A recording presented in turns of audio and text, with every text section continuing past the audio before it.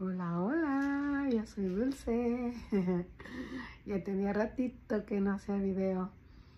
Eh, les voy a contar que ya voy a regresar pronto a trabajar. Eh, hay que ir a donde la vida nos lleve y mi propósito en la vida es ayudar a los demás, eh, sobre todo a quien más, más necesite y, y soy bendecida porque este pelo me molesta. Soy bendecida porque hago eso, ayudo a los demás y me pagan.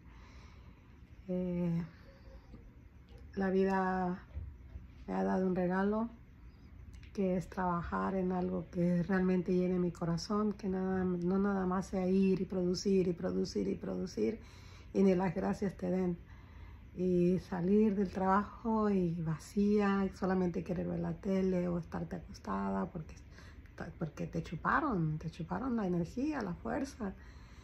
Y en este trabajo que yo tengo es al contrario, sales llenita, sales contenta, espíritu satisfecho, aunque es emocional también porque te encariñas con, con las personas, con las ancianas, que solamente veo mi espejo, pues veo que en unos años, ahorita por ejemplo yo tengo 59 años, digamos 60, la señora con la que yo trabajo, una mujer blanca, uh, o sea, de raza blanca, de ojos azules preciosos, tiene 83 años, o sea que yo tengo, digamos, 60, le quitamos un año para, para 83, 23 años más el año que, tengo que me, que, me queda. Son en 24 años, yo voy a tener la edad de ella. Y entonces, este, en 24 años, son mi espejo y, y, ah, también veo respecto a la, en la salud, como una persona llega a, estar de salud dependiendo cómo se cuida en la vida. Entonces, todo eso es un espejo para mí porque estoy viendo de la manera que actúo hoy, esa manera pues va a dar resultados para, para cuando tenga esa edad. Entonces algo, amén, que quisieras que mejor no ver, no darte cuenta, pero es mejor darse cuenta. Así sabes a lo que le tiras cuando sueñas mexicano. Así es una frase en México. ¿A qué le tiras cuando sueñas mexicano? O sea, si te haces el tonto, ¿qué crees que va a pasar?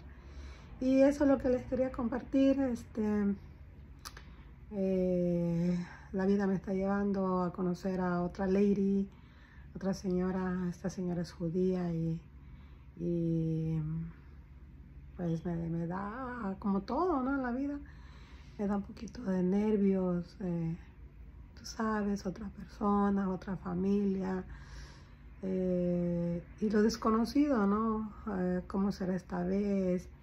Qué, qué, cuidados requiere? ¿Cuál es su personalidad? ¿Cómo es la personalidad de la familia?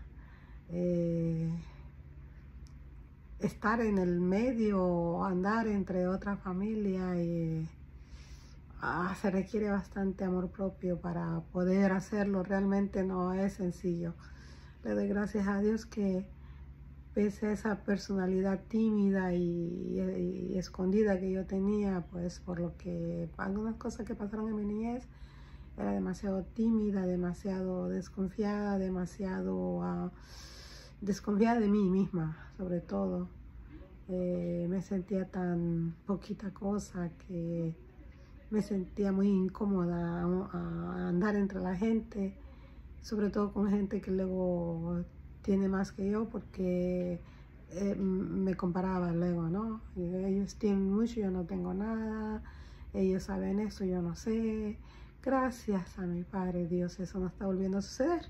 Me siento muy bien y bueno, es lo, normal de, de todas las personas, de que te sientes así como o estás entrando en otros terrenos, ¿no?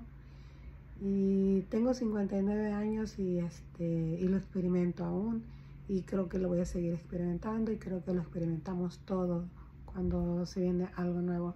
Quería compartirles eso, ya les voy a seguir contando.